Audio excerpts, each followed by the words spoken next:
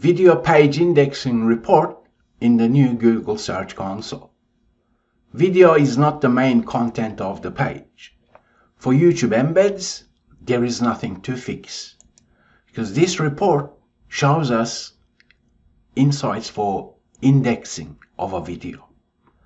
And the fact that if you're embedding YouTube videos on your website, that particular video is already indexed in Google.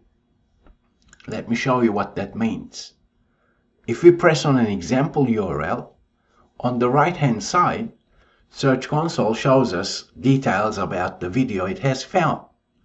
But it's telling us that video is not the main content of the page. Because this is about indexing, even though that video is on this landing page, it's an embedded YouTube video.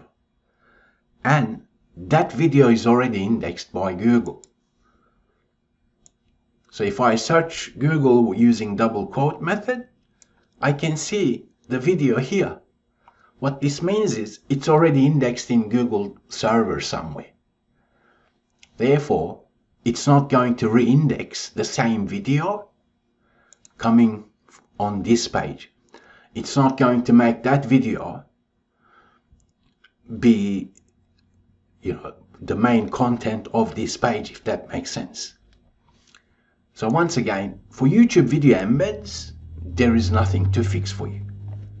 Having said that, what you can do if you have the resources for future videos that you want to publish on your website, even though they are YouTube embeds, you can use structured data for YouTube embeds as well. There is many plugins or even some sample examples here.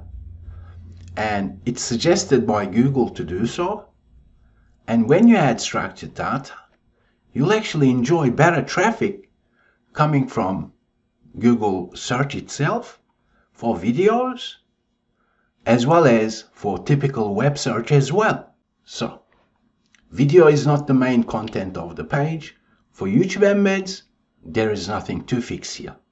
As I've said, if you have the resources, definitely utilize structured data because you'll get better results coming from Google. I thank you for learning with RankYa and I'll talk with you in the next video session.